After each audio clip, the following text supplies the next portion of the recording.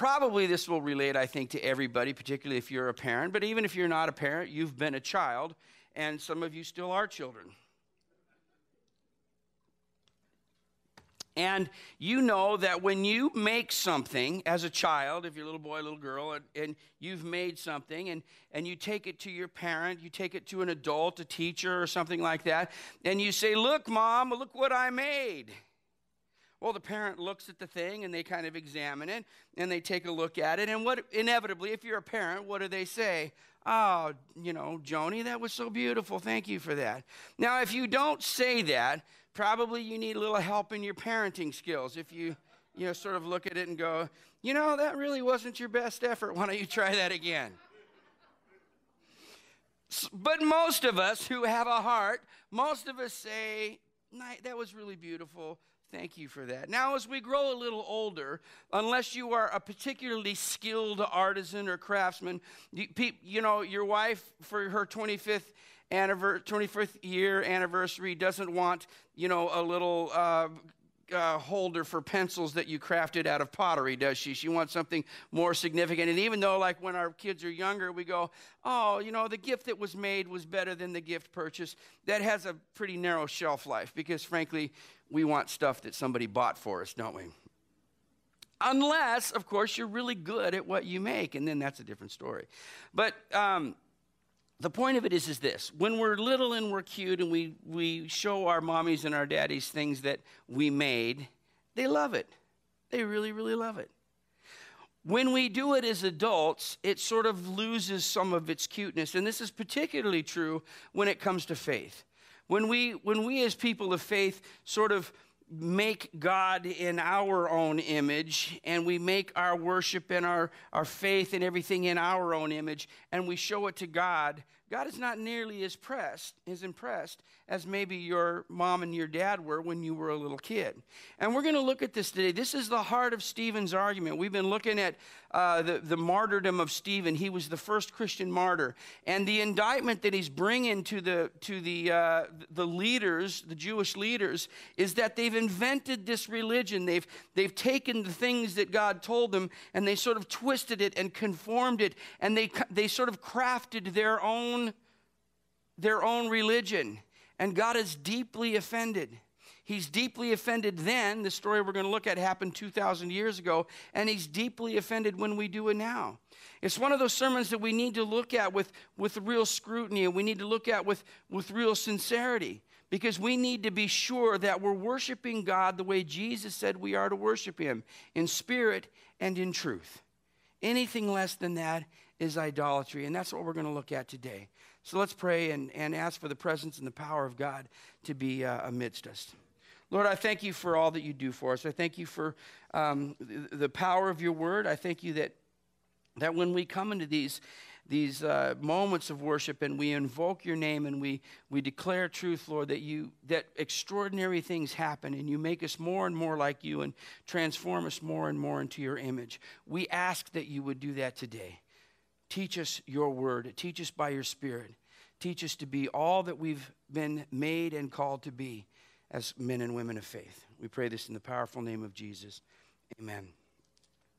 If you have your Bibles, you can turn to Acts chapter 7. Acts chapter 7, the, almost the entirety of it deals with this, uh, this defense of Stephen. And just to kind of remind us um, of what's happening, Stephen was, was uh, one of those guys that was selected by the apostles to care for the widows in the city of Jerusalem. So he's been working with these Hellenized widows, these, these uh, widows that were influenced by Greek culture. And he's helping them, but it's these very same people that, that have accused him of a terrible thing. They've accused him of speaking against the law of Moses, speaking against the temple, something that in that culture would carry a death penalty. So they've accused him of this. They've brought him before the Sanhedrin. This is the highest Jewish court, and they've accused him of doing these things, and he's, he's bringing his defense. And it's an unusual defense. In the defense, he's going to go all the way back to the very beginning, and he's not just sort of tracking the history of Israel, he's, he's following a very definite train of thought that deals with all of the redemptive history, the redemptive purpose of Israel. And what I mean by that, it's how God used the, the nation of Israel and promised them that through them all of the nations of the earth would be blessed. And of course, these are promises that, that, that we believe as Christians point to Messiah. So he starts with uh, a promise made to Abraham, who is the father of the nation. And it was to Abraham that the promise was given that through your seed, all the nations of the earth will be blessed. Now, to kind of get your timelines right, the story that we're looking happens during the time of Jesus, which is 2,000 years ago.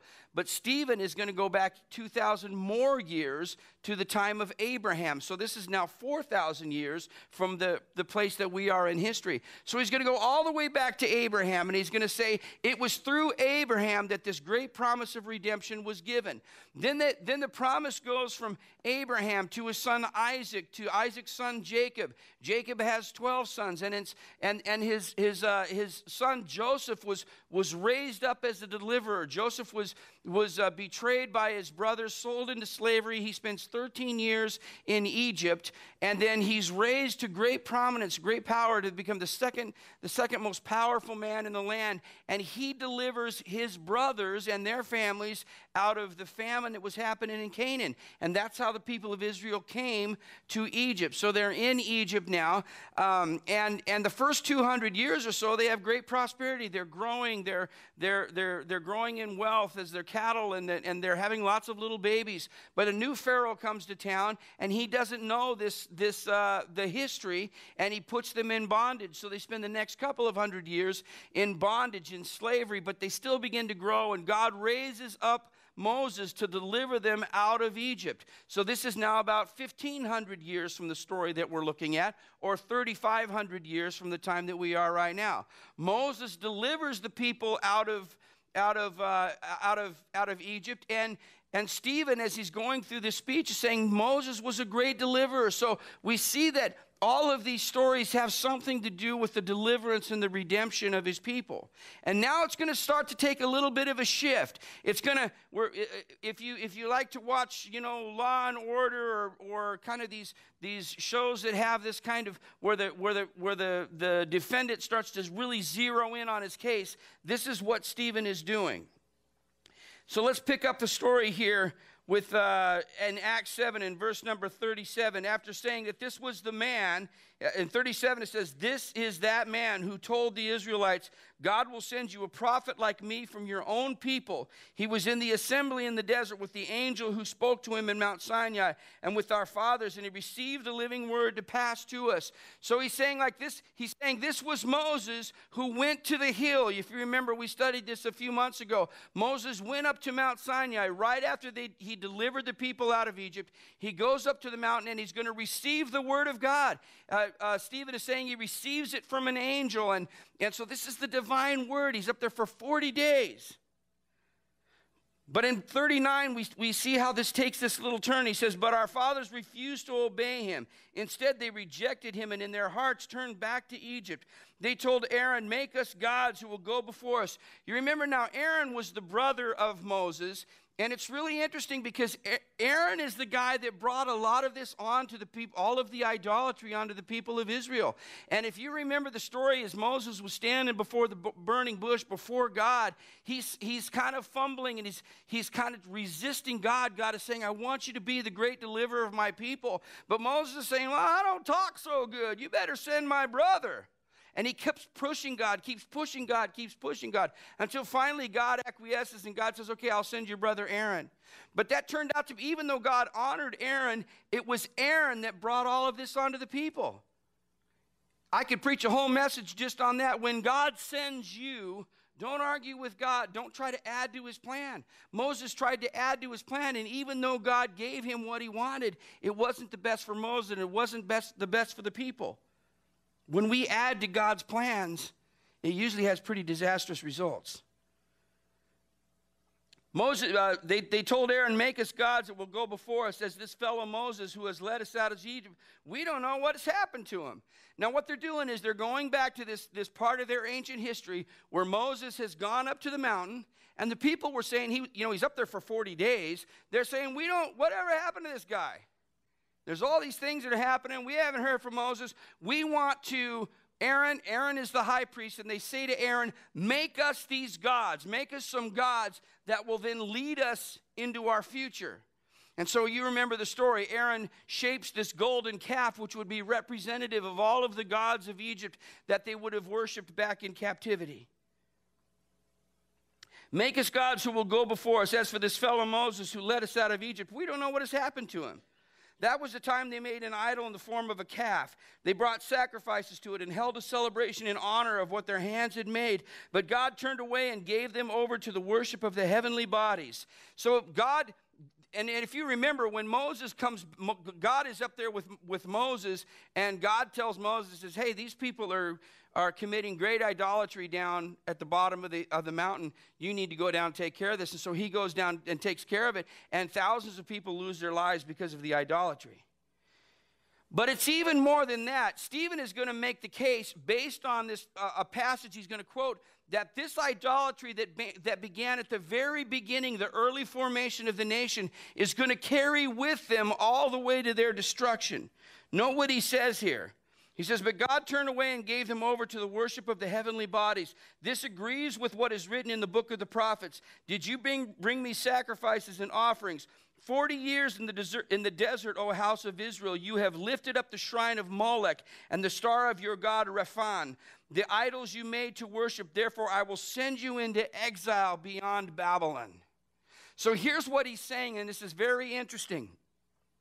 What he's saying is the idolatry that began at the very beginning, the earliest formation of this nation, carried with it all the way into the destruction that they experienced uh, at, in Babylon. And if you remember the history, during Moses' period, Moses forms this nation. It goes on for about 500 more years until it's raised up through King David and King Solomon. They carry on for another two or three hundred years, and then the, the northern kingdom is carried into captivity by Assyria. And then about 150 or so years after that, the southern kingdom is carried into captivity by the Babylonians. So, so what, what he does, he sort of takes this, this, uh, this, this nearly a thousand years of history, and he said it was because of all of that idolatry that began at the very beginning. That's what inevitably resulted in your captivity being carried away into, into captivity in Babylon. And, and this agrees with what Amos, who was a great prophet that wrote several hundred years after this story, Amos would have written about the time when the nation of Israel was carried away. And Amos is saying, This is why. It's because the idolatry that began at the very beginning.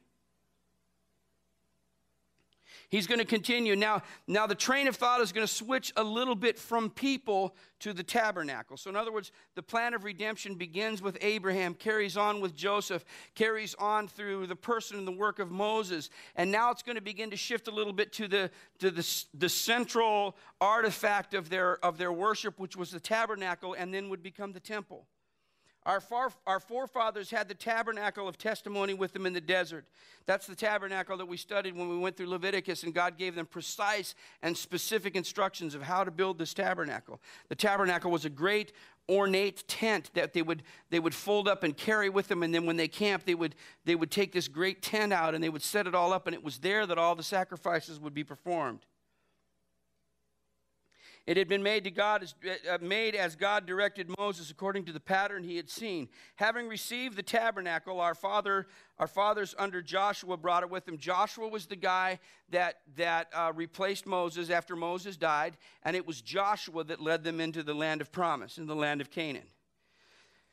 Under Joshua brought it with them and then took them to the land from the nations God drove out before them. It remained in the land until the time of David. David David's life comes about a thousand years before the life of Jesus. So an easy way to remember that is Abraham comes about 2,000 years before Jesus, Moses comes about 1,500 years before Jesus, and David comes about a thousand years before Jesus. Jesus is 2,000 from uh, 2,000 years from our time. To kind of help you with the history of it a little bit.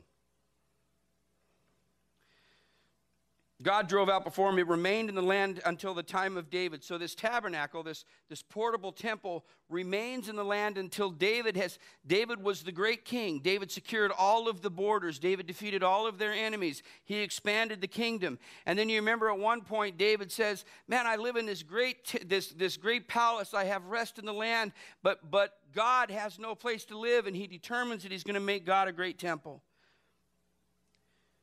Uh, it says, drove them out of the land and remained in the land until the time of David, who enjoyed God's favor and asked that he might provide a dwelling place for the God of Jacob. But it was Solomon who built the house for him. So David is in this great time of peace, this time of great prosperity. He wants to build a temple, but what God says, He says, You're not going to build me a house. I don't need you to build me a house. He says, I'm going to build you a house, David. And it's there that God then reiterates the promise that was made to Abraham that through the lineage and through uh, the, the people of Israel and through David's, uh, David's uh, uh children, that all the nations of the earth would be blessed and would be a great nation that would expand to the ends of the earth. And that there would never be, that David's house would always have a ruler in it. And again, this is once again a reiteration of the promise of our Lord Jesus Christ. But so David says, I want to build this house, but God says, No, you're not going to build it. Your son Solomon is going to build it. We looked at that as well a few, a few months ago. But it was Solomon who built the house. Moreover, the Most High, this is again Stephen speaking. Moreover, the Most High does not live in houses made by men, as the prophet says. This is the prophet Isaiah. Heaven is my throne, and the earth is my footstool. What kind of house will you build for me, says the Lord? And, and so what, what Stephen's argument from, from the very beginning is that yes, you built me a temple, you built God a temple, and God did dwell in that temple. But the temple was never meant to completely contain the presence of God. This was reiterated to, to Solomon by God himself, and it was, it was reiterated later by the prophet Isaiah that even though the temple was so central to their worship, it was never designed, you, a, a building can't house the presence of God. Heaven is my throne, the earth is my footstool. What kind of house will you build for me? Or where will my resting place be? Has not my hand made all things? A quotation from Isaiah God is saying, I made everything. I don't need you to build me a house. And here's the indictment in verse 51 You stiff necked people. This is Stephen again speaking. Now, he is speaking to the people that have brought a great accusation, powerful people. It shows the courage of Stephen right up into his death. He had the heart of a lion. He wasn't afraid to speak what, he, what was truth. He said, You stiff necked people with uncircumcised heart and ears. Now, this is not a unique phrase to Stephen. Moses, right before he, he, he died, he gives this final charge to the people. And if you remember, the history of Moses goes something like this uh, He brings the people out of Egypt Takes them about a year or so. They spend some time out Mount Sinai where they're, where they're given the law. They spend a month there. Then they go to the land of promise, but their hearts are rebellious. So they don't enter into the land. Instead, God says this generation will wander for 40 years in the desert. They wander for 40 years. Mo, uh, uh, Moses leads them through all of that time, and then, right before they enter into the land of promise, God forbids Moses to, to take the people in because Moses acted in rebellion to him, disobeyed his commandments. And so Joshua was the one that actually led them in. So, right before Moses died, he gives this final charge to the people. And what he's saying, he says, circumcise your hearts. Now, I don't think I need to explain circumcision to anybody here. If I need to, go home, look it up on the internet, and you'll figure it out pretty quick. But the point of circumcision, it was, it was a sign of something deeper. And the sign of something deeper was that, the, that our hearts have been circumcised. The, the foreskin, if you will, of our hearts have been pulled back and it's been and, it, and it's and it's pure and it's and and this is the part, this is what circumcision symbolized. And, and, and we have to cut off the, the flesh from around our heart so that it can be pure and, and, and, and honest before God. This is what Moses said that circumcision meant. Paul reiterated it in Romans. So this is a common theme for the people of God. It was a physical, it was a physical thing that the people did to their, to their, little, their little infant babies, but it had a deep spiritual meaning. In fact, now often uh, uh, we, we, we have a similar kind of thing with baptism. It means that we're, we've been made pure, we've been made clean. We, we, we, we, uh, we identify with the death and the resurrection of, of Christ with his, with, uh, with his sacrifice. And so, what Stephen is saying, he says, Yeah, you're circumcised physically, but you're not circumcised spiritually. You've remained closed off. You haven't opened your hearts to God. You stiff necked people with uncircumcised hearts and ears. You were just like your fathers. You always resist the Holy Spirit. Was there ever a prophet your fathers did not persecute? They even killed those who predicted the coming of the righteous one.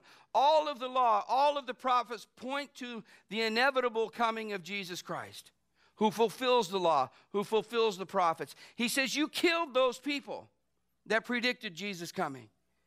And now you betrayed and murdered him. They say, not even that, as if that was not enough.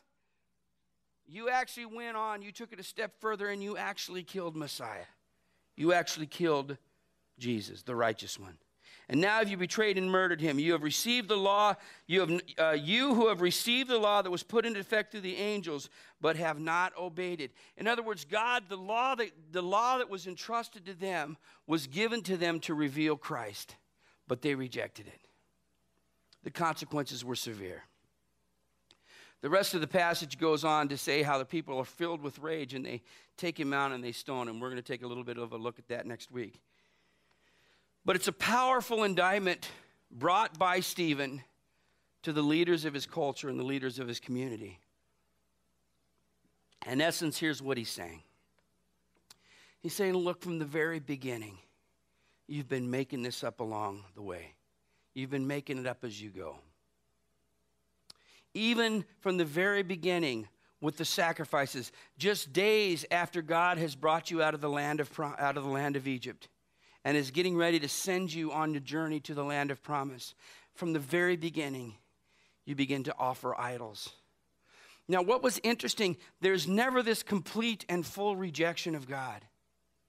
Every, every Jewish person would understand that. There was never this complete rejection of God, even at Mount Sinai.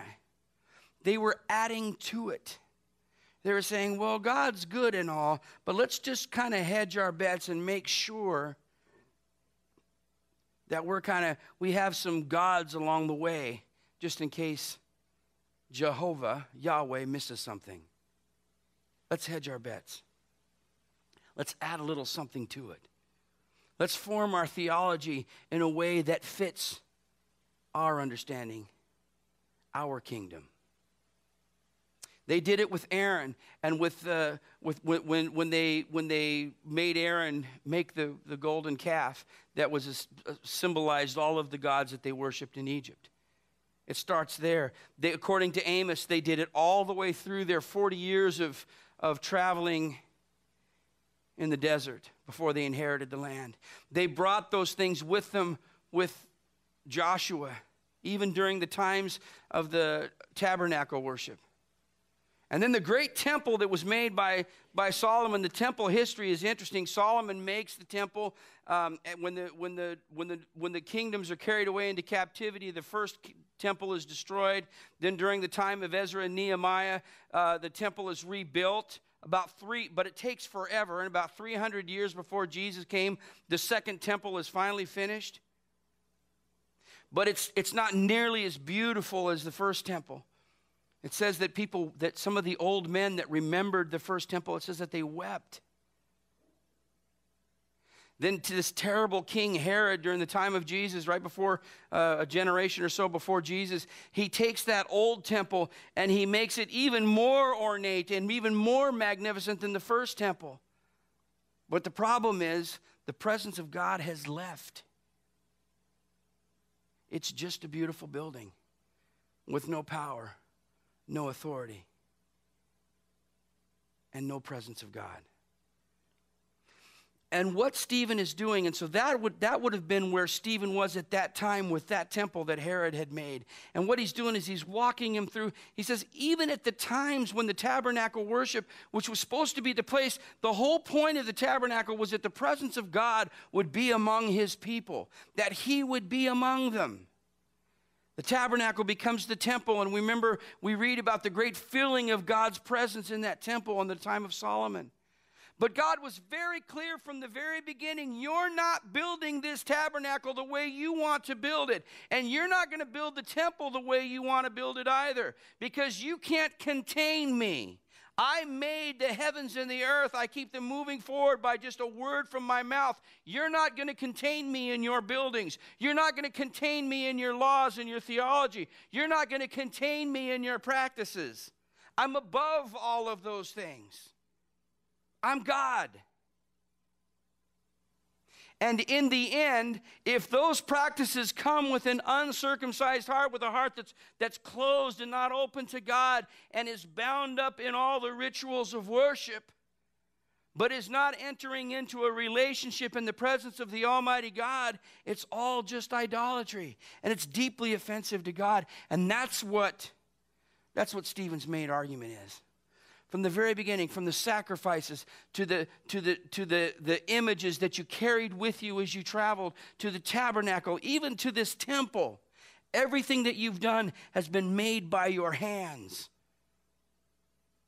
You've taken a religion, you've taken the promises of the Most High God, you've conformed them into your image, and you're lifting up to God and saying, Hey, God, look what I made. And God's deeply offended. Now, the Jewish leaders, they kill Stephen. Because you know what I've learned? I've been in ministry a long time. I've learned that people really get offended when you point out their idols to them. They get really, really offended. And we might think to ourselves, well, but Pastor Jim, we don't have idols. I don't, we, I don't worship Molech. I don't sacrifice my children to any gods.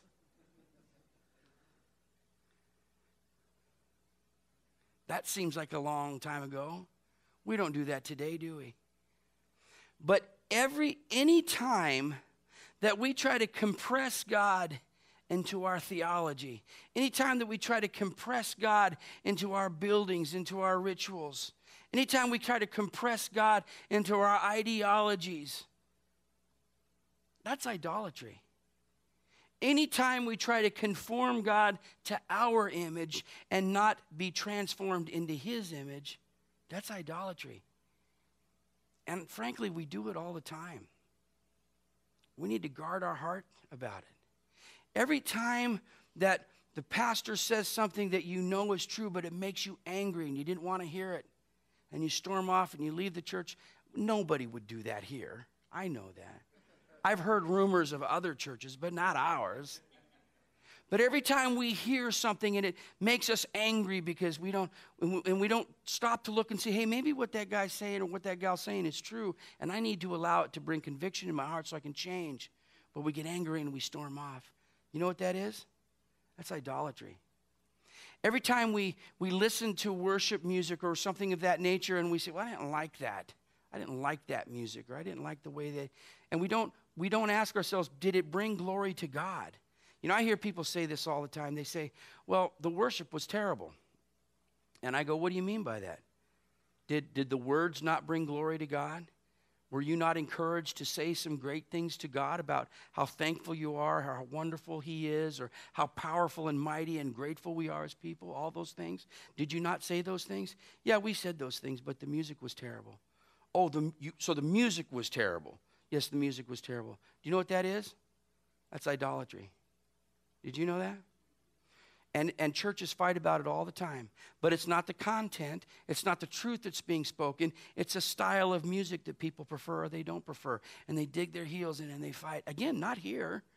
It's just rumors I hear about other churches. That's idolatry.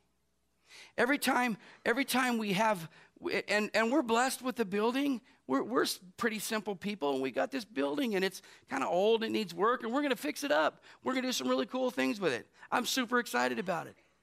But every time we put property and buildings before the kingdom of God, that's idolatry. And I, I've been in churches where, where I was, people were told, you can't bring this cup of coffee into this place. Do you know what that is? That's idolatry. Whenever we try to conform God to our image, whenever we try to take the truth of His Word and build our kingdom instead of building His kingdom, that's idolatry. It's offensive to God. It was offensive to God then, and it's offensive to God now. And that's what Stephen is saying.